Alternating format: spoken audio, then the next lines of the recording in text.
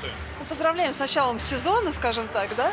Прошлый сезон закончился на высокой ноте, золото юниорского чемпионата мира. Что, а, не то что что ждете, а с каким настроением идете в новый сезон?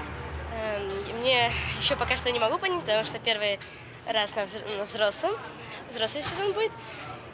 Я очень хочу уже выступать на соревнованиях. И прокаты это еще больше мое желание э, как бы, стало еще больше. Я хочу уже побыстрее, уже невозможно ждать. Вот. Ну, очень мне нравится выступать. Какое у вас отношение к контрольным прокатам именно? Все-таки вроде это не соревнование, но с другой стороны такая поддержка публики. Вообще, какой, вот, какие сегодня эмоции? Эм, э, Также я первый раз выступаю на контрольных прокатах, когда есть публика. Обычно это в Новогорске закрытые прокаты были. Вот. И э, очень мне понравилось, конечно же, уже атмосфера, как на соревнованиях, все поддерживают. С самой разминки чувствовалась эта вся атмосфера. Ожидали такое количество зрителей? Ну, когда услышала, что в Лужниках, я подумала, что, наверное, будет много народу. Ну, конечно, удивилась, когда столько пришло.